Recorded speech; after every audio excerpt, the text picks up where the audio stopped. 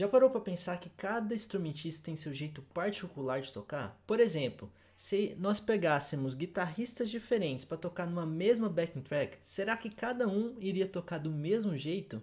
Acho que não, né? Vamos conferir isso com um exemplo prático nesse vídeo. Bora lá!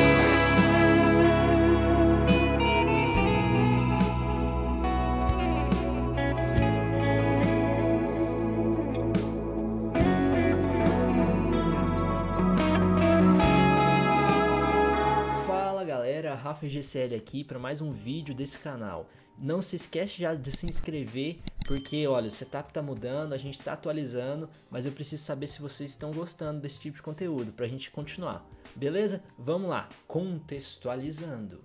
Há um tempo atrás, o guitarrista Diego ele me chamou para participar, junto com outros guitarristas, de uma jam. Nessa jam, cada um iria improvisar um trecho ali da backing track que a gente construiu. Esse vídeo está aparecendo justamente aqui no card agora, mas calma aí.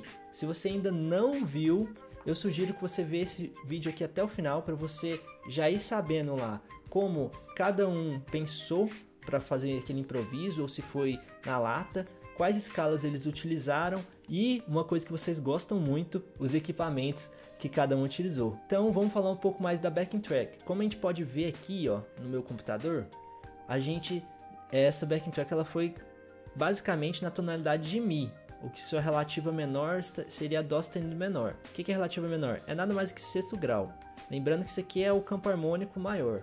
Bem simples, mesmo se você não souber, pode ficar tranquilo. Olha que interessante.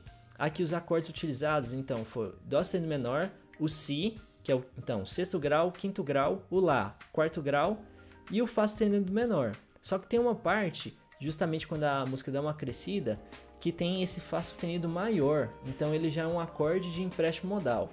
Não vamos entrar muito em, em teoria, qualquer coisa eu posso fazer um vídeo mais explicando essas partes, mas só para dar uma contextualizada geral. Então nessa parte, essa é a backing track. Então bora lá os participantes. O primeiro participante que a gente vai falar aqui vai ser o Robert, que foi justamente quem gravou a backing track. Bora lá, Robert. Fala aí. Fala galera, beleza? Meu nome é Rob, estou aqui do Espírito Santo, Castelo. Eu tô falando um pouco sobre mim. Eu estudei, eu toco guitarra desde os 12 anos de idade. Hoje com 29, deve ter mais ou menos uns 17 anos que eu toco guitarra. Gosto muito, é o meu hobby favorito. Não trabalho profissionalmente tocando guitarra. Claro que tem alguns trabalhos, recebo algumas coisas, mas não é a minha forma de trabalho principal. Atualmente tenho investido no estúdio, um home studio, tenho tentado fazer alguns trabalhozinhos, tentando iniciar nessa carreira aí, um pouco curioso e partindo para cima. Aprendi sozinho, cara, autodidata, desde novo, por pegar de ouvido, né, ter essa facilidade do ouvido me ajudou muito. Quanto ao solo, cara, eu fiz no Logic, né, quase simples mesmo, peguei a bateria já pronta, já fiz uma basezinha lá, normal mesmo em mim, né, começando do sustenido menor e coisa fácil para todo mundo e rolou. Gravei uma guitarrinha base, uma guitarra com coros, gravei uma distorção também, uma, uma, a segunda parte foi mais distorcido, né? E gravei direto em linha. Usei a HX Stomp para gravar, amps estéreos, né? Baixo também, fiz tudo aqui no teclado MIDI, tudo via Mac. Tá ok? Escala, cara, eu não lembro que escala que eu usei para improviso, que eu toco de ouvido.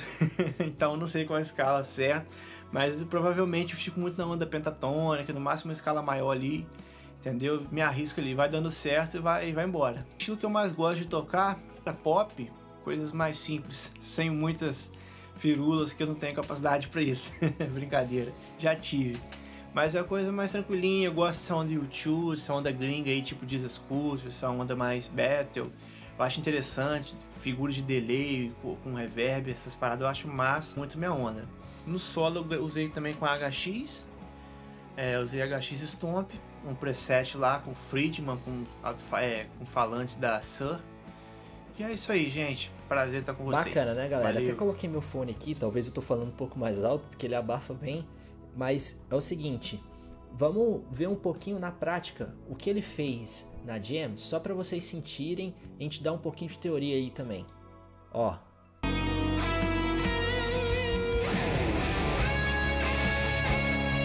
cresceu, ele já veio, ó.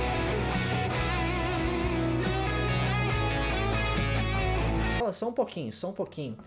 Que nem ele falou no vídeo, aqui ele tá usando muita pentatônica mesmo, ó. Que é a pentatônica, no caso de Dó sustenido menor, porque essa música está no tom de Mi. Rafael, mas como que eu sei que a pentatônica de Dó sustenido menor, é, sendo que o tom é Mi? A dica é o seguinte: você vai pegar na corda Sol e achar a nota que é o tom. Por exemplo, nesse caso aqui a gente está no tom de Mi, que nem eu expliquei já, mostrei no campo harmônico. Se qualquer coisa, volta lá, dá uma pausada, que você vai entender. A gente vai achar a nota Mi na corda Sol. Por exemplo, nesse caso aqui, ó, a gente tem Sol, Lá, Si, Dó, Ré, Mi, tá na nona casa. Se tá na nona casa, a gente vai ter justamente nossa pentatônica aqui, ó. Então, aqui tá a nota Mi, que é na nona casa. Eu vou pegar ela e levar para minha primeira casa, primeira corda, né? No caso, a última, perdão, sexta corda, que é a Mi. Então, aqui já é Dó sustenido. Esse é o, essa é a relativa menor, Dó sustenido menor. Então, a pentatônica tá aqui, no primeiro desenho. Ele usa até uns bends uníssonos que chamam, né? Que é quando eu pego o bend e pego com a nota de baixo. Enfim, bacana demais, né? Vamos prosseguir aí que só é o começo, galera, só para vocês sentirem. Então vamos dar sequência agora com nada mais nada menos do que o anfitrião, quem teve a ideia de chamar a galera aí para tocar essa jam, essa jam Guitar Hero. Por que desse nome também? Então fala um pouco mais pra gente, Diego. Aí, Guitar Hero, Diego FRC aqui, vou falar um pouquinho da Jam Guitar Hero. Meu nome é Diego, mais conhecido, né, eu sou como Diego FRC ou Guitar Hero, porque eu sempre começo os meus vídeos saudando a vocês, Guitar Heroes. Então, galera, tem mais ou menos 20 anos que eu toco, né, comecei a tocar com 12 anos, é, sempre fui autodidata, nunca tive um professor, né? Sempre foi através de revista, revista Guitar Play, Guitar Class, através de amigos, através do meu irmão. Então, enfim, é, essa foi a minha forma de aprendizagem até hoje, né? Galera, música para mim sempre foi hobby, né? minha profissão é outra, eu sou engenheiro de segurança, então essa é a minha profissão. E vou falar um pouquinho sobre a Jam, né? o porquê que eu tive essa ideia da Jam. Primeiro o nome da Jam Guitar Hero é justamente por causa desse bordão que eu sempre começo os meus vídeos saudando Guitar Hero. E depois, galera, a intenção da Jam, na verdade, foi unir a galera, independente de estilo musical, independente se um acha bom ou ruim. Porque eu vi essa necessidade? Porque, galera, é, eu já bati de frente com muitos guitarristas que são meio nariz em pé, se acham o tal, né? E na verdade a intenção dessa jam foi tipo, é, galera, não excluir ninguém, nem deixar de ninguém sem tocar porque um acha melhor, o outro acha pior, o outro acha. Não. A intenção da Jam Guitar Hero é tipo, cara, independente do que você é, é, se você tecnicamente é bem apurado numa técnica ou em outra, né? Cara, é tocar. É tocar, é entre amigos. Eu não tenho essa, essa parada de tipo. É, eu vou achar você melhor, vou colocar você na dia. Não, cara. Independente. É tudo amizade, é parceria. Beleza? Então, até se você quiser entrar na Diano Guitar Hero, chama lá no Instagram, entendeu? Você vai participar, cara. Pode ter certeza. Vai chegar a sua hora que você vai participar. Ninguém exclui ninguém, beleza? E aí, galera, vou falar um pouquinho também sobre os meus equipamentos que eu utilizei para para Jam. Utilizei um notebook, utilizei essa M Audio, que é uma interface de áudio, e utilizei o meu set de pedais que está aqui. Você pode reparar aí que a maioria dos pedais são vertical FX porque eles são meu parceiro, né? Cara aqui é o que faz total milagre, né? Esse cara aqui é um simulador de gabinete. Então, eu utilizo a saída direta aqui para minha interface de áudio. E é isso, cara. Pluguei aqui pluguei na interface de áudio, acabou, esse é o meu som. O resto é a equalização dos pedais, beleza? Então é isso, galera. Tamo junto. Um abraço aí para vocês. Galera, não resisti de pegar meu fone aqui de novo. Vamos ver um trechinho dele junto. Se liga só. Olha a crescente.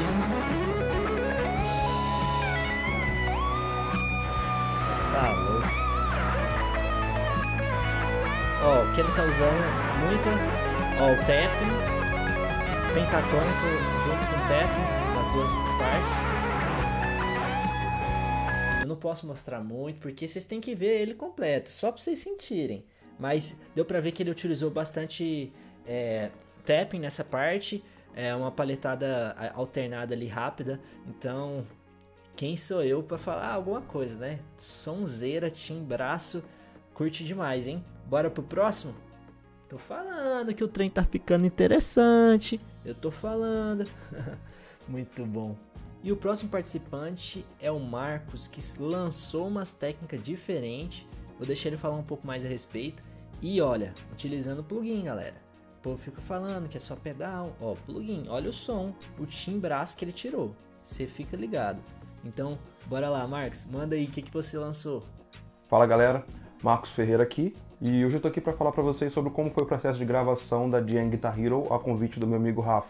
Eu sou músico há 20 anos, na guitarra há 18. Fiz algumas aulas com Leandro Cabelo de Almeida e Arício Távora. Eu, meu gosto musical varia do rock and roll até o, a música pop, passando ali pela música negra americana, das igrejas, gospel e tudo mais. Música para mim é hobby, trabalho uma outra área, a área de segurança do trabalho. Para poder fazer a gravação da Jane Guitar Hero, eu utilizei as ideias de pentatônica, escalas naturais, não fugi muito disso, usei um pouco de paletada híbrida, com salto de corda, coisa que eu estou começando a estudar agora, então por isso que não ficou lá grandes coisas. Usei também um pouco de double stops, bem, coisas bem simples, né? Que a ideia era tocar, era ser livre, então não utilizei muita, muito mais coisas do que isso.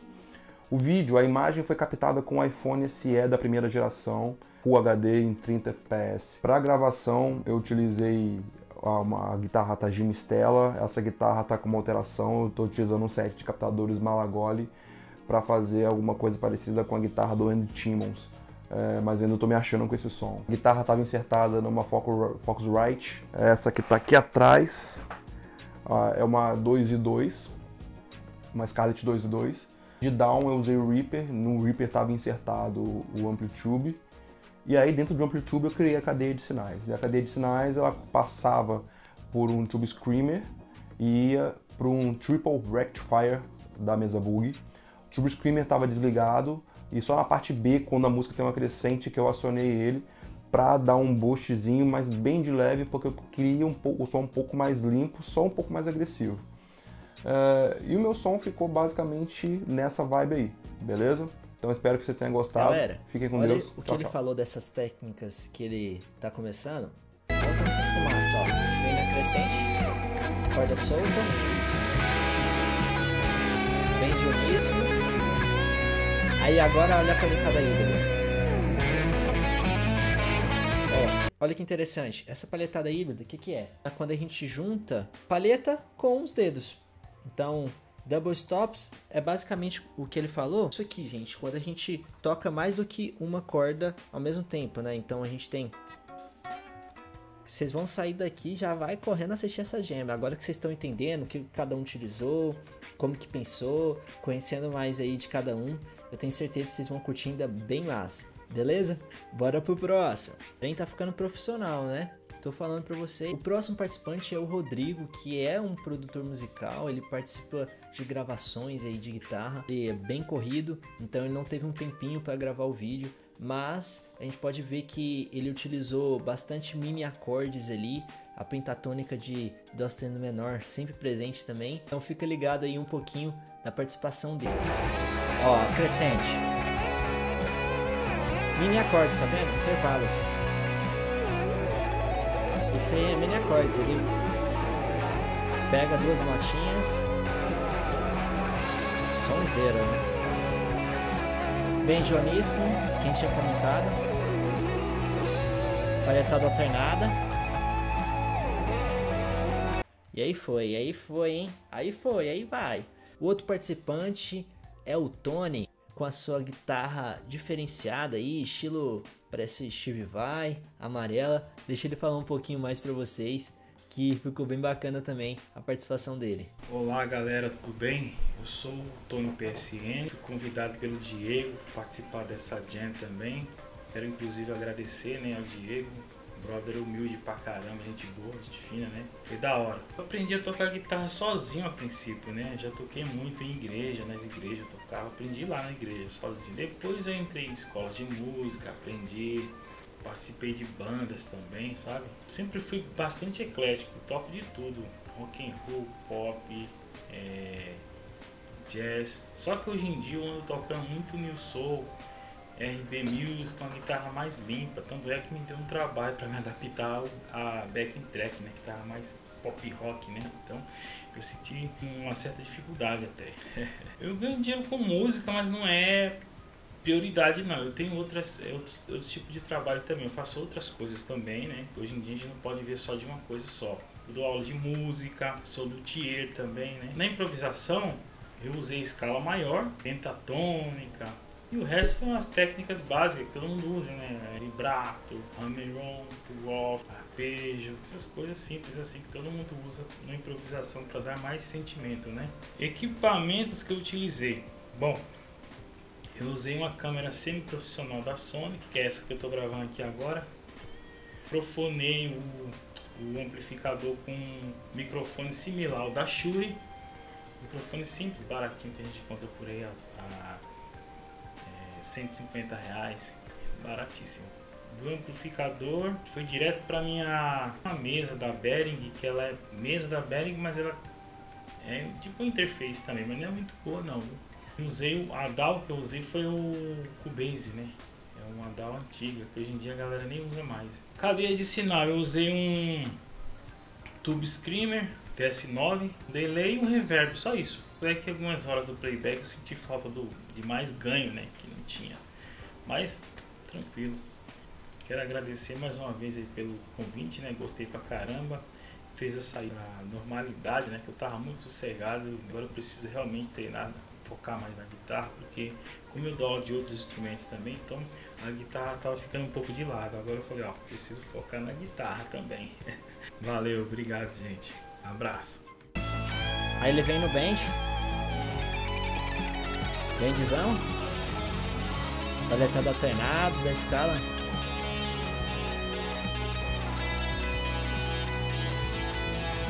Aí a parte de acordes. E a backtrack rolando. E aí foi. Terminando o bendzão. Pads no final. Uau. E outro participante foi o Guilherme, que infelizmente não teve um tempo para gravar o vídeo e tal, correria aí de agendas, mas tudo bem, ele mandou um áudio, vamos escutar e a gente tem uma ideia melhor do que que é. Fala manos, beleza? Eu usei dois drives. Quando a música cresce, aí eu acrescento um drive Entendi. mais forte. Quando tá utilizou. a música tá mais embaixo, eu uso dois drives com baixo ganho. Depois eu aumento beleza. o drive do máquina, coloco o high gain do máquina. Aí vem aquele drive mais forte para improvisar. Okay. O que eu tô usando ali para fazer os improvisos? Um compressor, é. dois drive, né? E um, e um delay, mais nada. O amplo eu tô usando o simulador do Vox AC30, o acetone da Joyo, e dele já vai direto pra placa. E na placa eu fiz a, a gravação no RIP. Peguei a guitarra e mandei pros caras. Foi isso que eu usei, manos. E usei uma Telecaster MV Guitars. Bacana, né, galera? Tá vendo? Então ele utilizou pedais junto com o Reaper qual que é o segredo de utilizar pedais que a gente está vendo aqui? Você tem que ter um simulador de caixa ou de gabinete, né? Alguma coisa que vai simular, algum pedal que vai simular o seu amp, porque senão vai ficar muito ruim, muito ruim mesmo.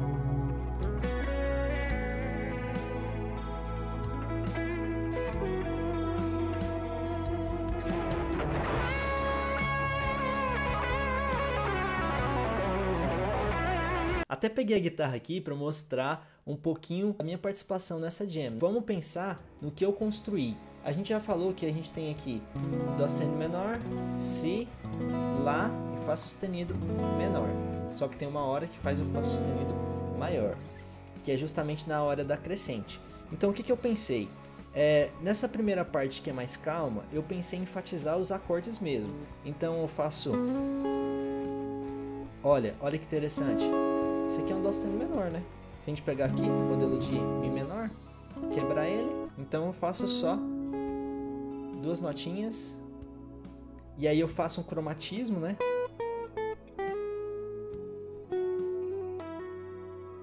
E aí a melodia sempre presente junto com os acordes. E aqui eu faço um pouco de do, double stop, né? Que é duas notas ao mesmo tempo. Lembra quem tinha comentado? Aí é legal um pouco de paletada híbrida. Ó, vamos mostrar a paletada híbrida bem aqui, ó. Paleto, puxo com o dedo. Sempre enfatizando a melodia nessa parte. Então, a maioria do, do solo eu construí mesmo, pensei antes. Algumas partezinhas eu improvisei lá na hora. Então, o que saiu, saiu. Sempre pensando na pentatônica de Dó sustenido menor, junto com escala maior de Mi, né? Perfeito? É interessante que quando vai crescer, vem esse Fá sustenido maior.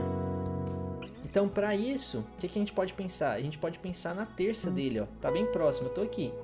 E aí eu pensei nessa nota pra gente puxar pro pra crescente. Então, que é a nota o quê? Si bemol. O si bemol é nada mais do que a terça, né, do fá sustenido maior. Então, enfatizando essas notas que ficam um trem bem melódico, algo bem bonito mesmo de se escutar. E a gente pode depois ver que eu faço uns bends, né? E sempre buscando a melodia, né? Sempre algo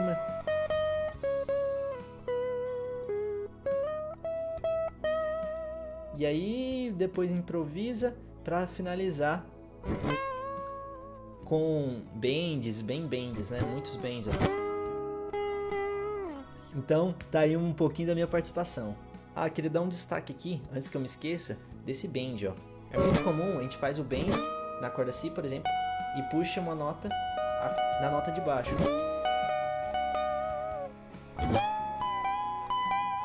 Eu fiz bastante isso aí nesse, nessa jam também. E sobre os equipamentos que eu utilizei, é, basicamente foi o celular. Então eu peguei, eu tenho um iPhone 7, peguei ele, conectei no Arig 2, já tem vários vídeos no aqui no canal, não funciona só para esse dispositivo, não funciona só para iOS, também para Android. Já expliquei como você toca junto com backing track e tudo mais. Então, tá aqui no card. Depois você corre lá para ver certinho. Basicamente o que eu utilizei foi isso. Eu também peguei, utilizei o GarageBand e aí para iPhone eu precisei desse adaptadorzinho, né? Conectei o adaptador, peguei aqui, conectei.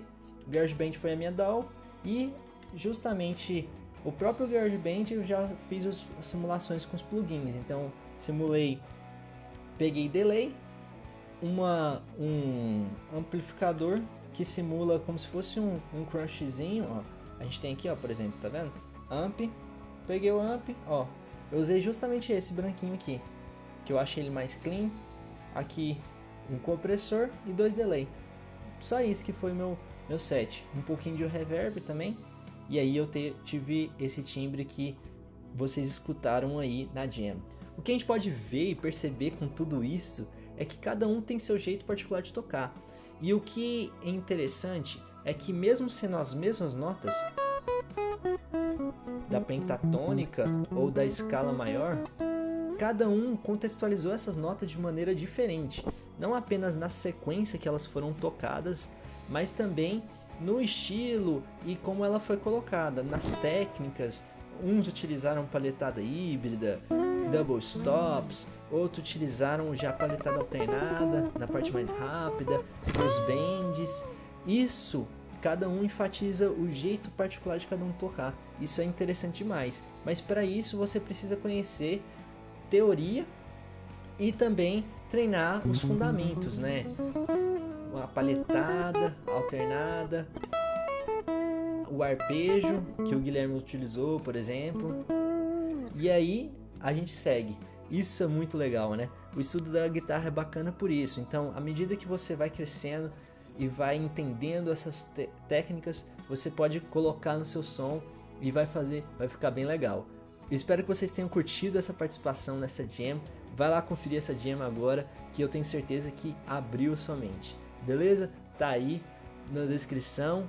Também vou deixar aí no final. Tamo junto, galera. Fiquem com Deus.